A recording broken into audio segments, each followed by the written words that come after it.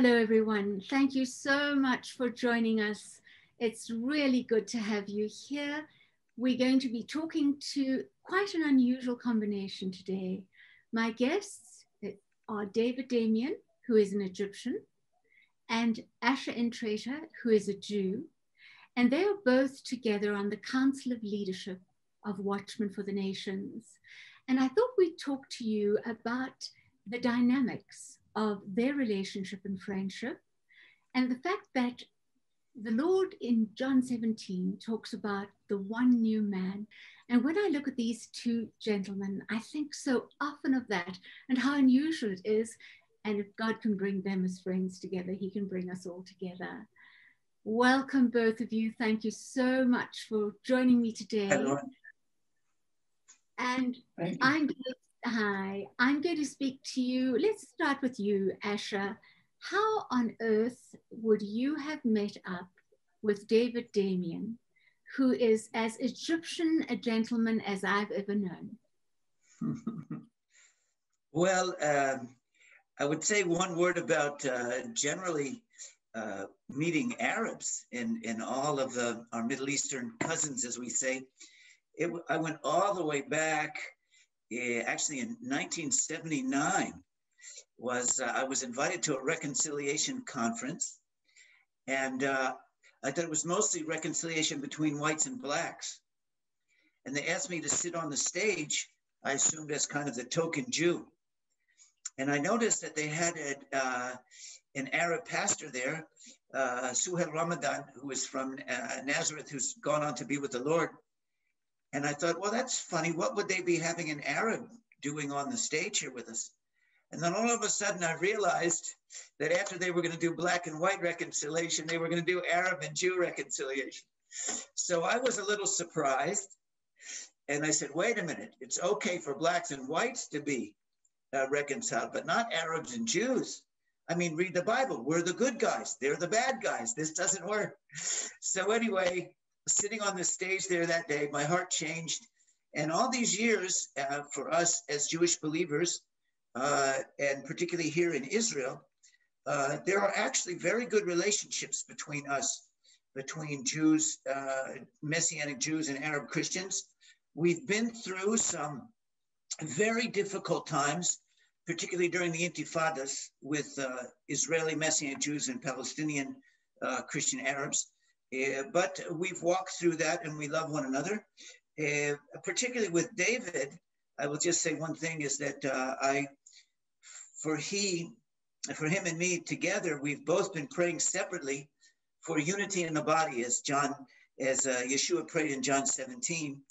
And uh, when I got to know him, I saw such a beautiful expression of, of oneness that he was gathering people around for a vision of the global family with the presence of the Holy Spirit and relationships as a family.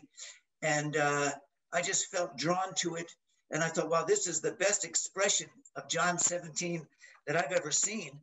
And I thought the fact that it was being led by an Egyptian was was not um, repulsive to me. Exactly the opposite. It was perfect. I thought, wow, this is this is just the uh, type of spiritual family I want to be involved in.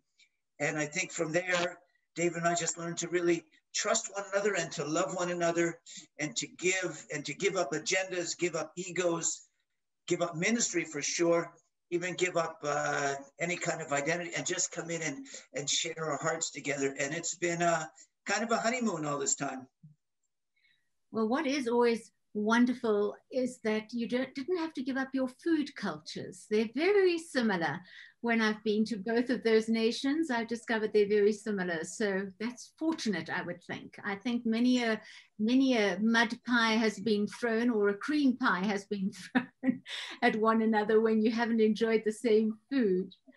The funny thing is, is that uh, this is going a little far astray, but you know the Jewish people have been in exile for most of the past two thousand years.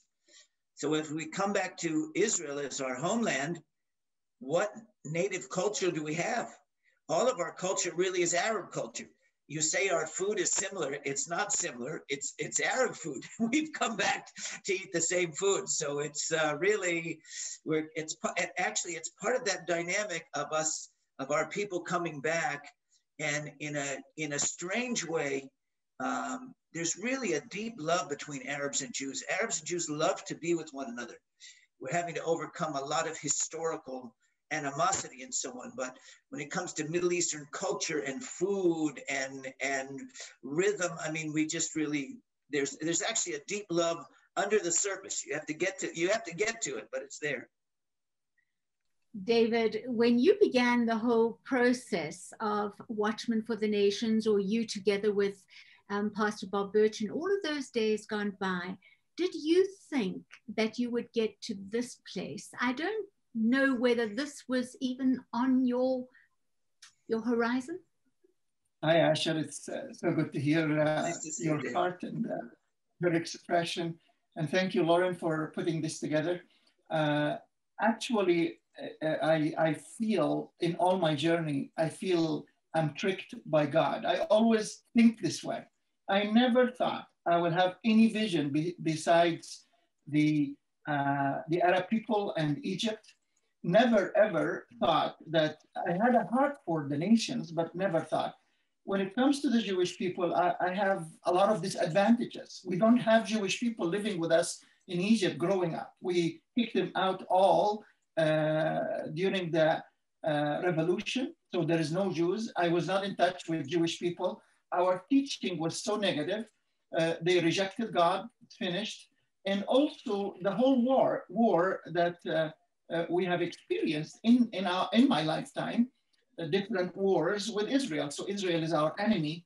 And all this has kind of blinded my eyes to the Jewish people.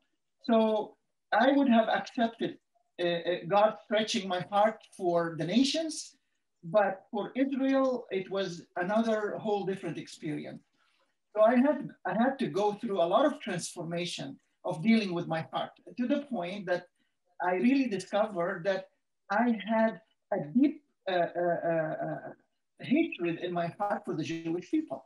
And I discovered that when people talked about their nations, the Philippines or, or Brazil I'm celebrating them. But when people talk about Israel and God visiting Israel, I felt I don't want that. I don't. I really didn't want them to be blessed. I felt in my heart, and it bothered me and troubled me. So the Lord took me on a personal journey, and my journey with Asher was very unique because I remember uh, when the Lord changed my heart, it was a revelation. It was not a natural thing. It was an encounter with God so I'm longing now to meet with the Messianic family and walk with them. And uh, in my heart, I wanted to enter into this covenant. And I remember the first time I met Asher, uh, someone took me to revive Israel in uh, uh just outside of Jerusalem. Uh, and uh, the first time we talked, and we talked about the covenant, and Asher said to me, I wrote a book about covenant. And he gave me the book, and I thought, isn't that interesting that we have the same heart we, we never met before? And then uh, we uh, uh, started our, our walk together. And at this time, I was trying to figure Asher out because Asher is a, a very intense man and I'm a very intense man. I am intense in my passion for relationship with people and Asher is intense in his relationship with the Lord. And I loved that. And I was trying to get closer to his heart. And it happened in, uh, in one of the gatherings in Munich uh, in 2015. Uh, this gathering was the first time that allowed me to see how humble Asher is and how uh, uh, dedicated he is to the body. And uh, I walked with the Messianic people before and I loved them, but that kind of level kind of, I mean, maybe there is destiny too. I discovered that the Lord knit our hearts in a way that was uh, deeper than my mind could understand or could grasp. I gave him my David, you know, uh, David, let me interrupt you for a second here. I just remember that when we were in Munich together, um, I realized that you it, it, was set up to be in the same stadium where the Israeli yeah. athletes were killed. And I remember I went to you and I said, David, what are you doing? How can this is so insensitive? Don't you realize this is the same place where the Israeli athletes were killed. And you and you said, and you totally surprised me. You said, that's exactly why we're doing it here. We're coming back on purpose in a heart of love and repentance. And I said, whoa, this is a whole different ballgame going on here. That's you know, true. If I, I, go ahead, Lauren. David, I just wanted to interject and say to you that in the, the way that God sets these sort of things up with that whole Munich thing, did you were you aware of that at that time? Uh, that in that stadium? No, no. We, we, that was the only uh, we wanted this arena, but that was the only arena that was open for us because 2015 was the 70 years for the uh, Second World War, and every arena was booked. We it was very hard. But when we started walking in, in, in this arena, the, the in, intense security that the people, they started, the German uh, uh, uh, people, there was intense security. And I said, we have never been in that kind of a security before. And they told me, it's because you're meeting in this arena and the history of this arena between the Arabs and the Jews. Suddenly I realized it was a setup from the Lord that to bring the Jewish family and the Arab family redeemed by the Lord to restore what the enemy has done years ago. And that brought, brought us to the, brought me to the, to the realization we are bigger than just a gathering that we have done.